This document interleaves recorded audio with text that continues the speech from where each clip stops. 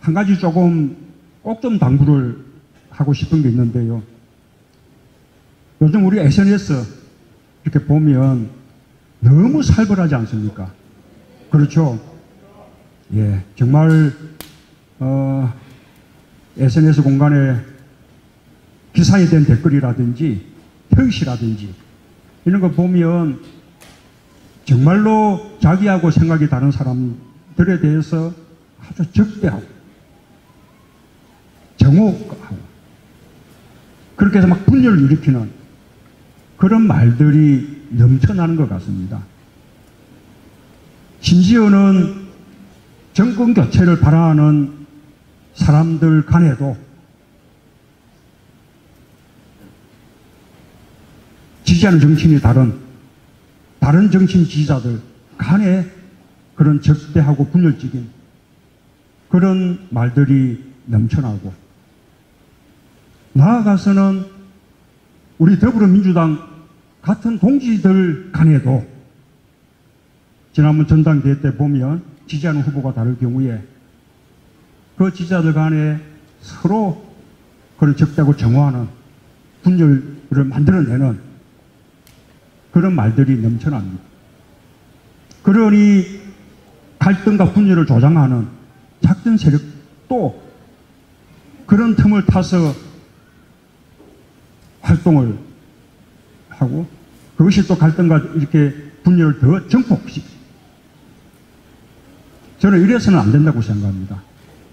항상 경쟁은 아름다운 경쟁이어야 되고 그 경쟁이 끝나고 나면 다시 협력할 수 있는 그런 경쟁이 되어야 되거든요. 그래야 경쟁이라는 것이 우리 힘을, 우리 역량을 더 키워나가는 과정이 되는데 경쟁하는 과정에서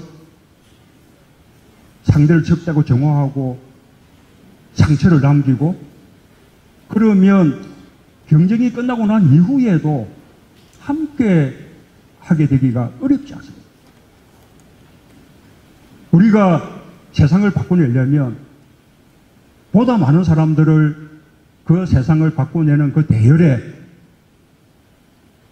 참여시키고 또 포용하고 확장해내야 되는데 그런 식으로 경쟁을 한다 해서 경쟁하는 상대를 폄하하고 적대한다면 그러면 상대도 거꾸로 그런 공격에 맞서서 또 적대로 답하게 되고 그런 것을 지켜보는 제3자는 아, 이 사람들이 굉장히 배타적이구나. 그리고 폐쇄적이구나. 그렇게 생각해서 확장을 가로막게 되는 것이거든요. 그것은 자기가 지지하는 정치인을 키워주는 것이 아니라 오히려 가두고 확장을 가로막는 어찌 보면 이적행위라고 그렇게 말할 수도 있습니다. 그 저는 이제 SNS 공간에서 정말로 대대적인 어떤 선풀 운동 같은 게 좀 전개돼야 한다고 생각합니다. 지금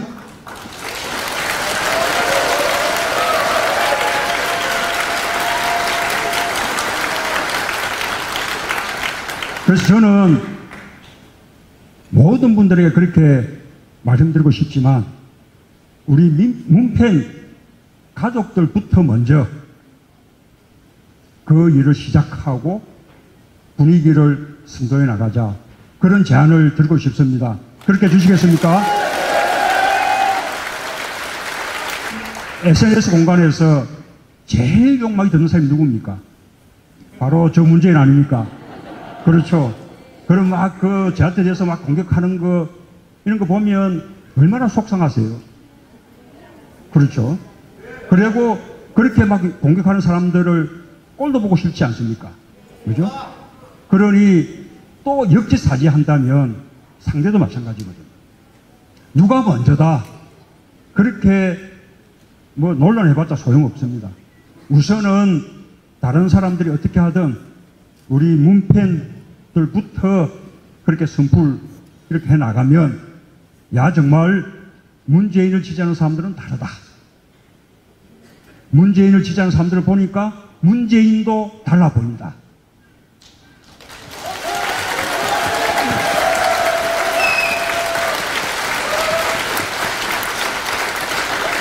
자, 그렇게, 그렇게 만들어 주실 겁니까?